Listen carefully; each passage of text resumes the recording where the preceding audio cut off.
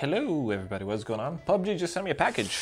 In case you don't know, I am a PUBG partner. Even though I haven't been playing as much lately, I know they have a couple of new things coming out and they sent me a package called the Dino Land. That's probably the nicest inside of a box I've ever seen. We got a Dino Land cup and we got the straw for it. I think this is pretty cool. Oh, we have a, a dinosaur with the level 3 helmet from PUBG. That looks really cool. We have a Dino Land hat. There we go. PUBG Black Box. Thank you for being part of the PUBG journey with us. Here's to many more. Land, Loot, Survive. Um, so this is a three plaque. That's pretty cool. we have the Vikendi Dino Land. What are these?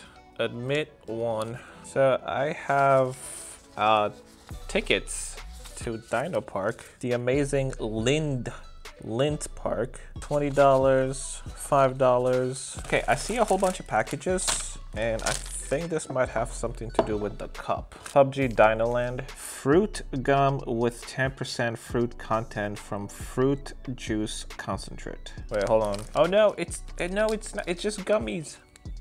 It's just regular gummies. I thought it was powder for the cup, I'm wrong.